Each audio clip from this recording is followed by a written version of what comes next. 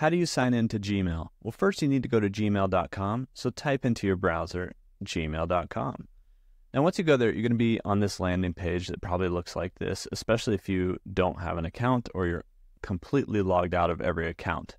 So in the upper right, we're going to click on the sign in and then make sure that you're on this page, which is sign in instead of creating an account. And so here we'll just type in our uh, email. So for instance, I believe I have one that's sort of a YouTube email like this, and we can hit next. After that, we're going to enter our password. And so once we enter in our password, we should be able to hit next again and it will sign us in. Now, sometimes there's two step verification set up. And so you might need to get a verification code sent to your phone number or your other email or tap yes if you're logged in on a phone or tablet.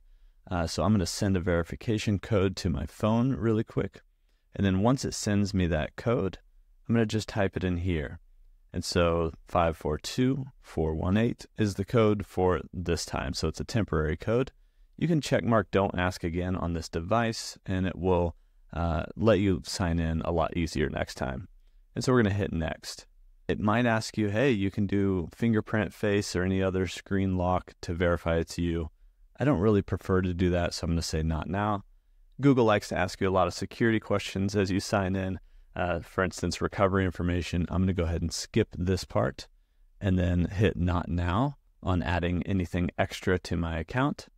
And so then it's going to swing me over to the actual Gmail page, and we're going to be able to see all of the mail for this Gmail. And so that's how you can log in to your Gmail account here on Google.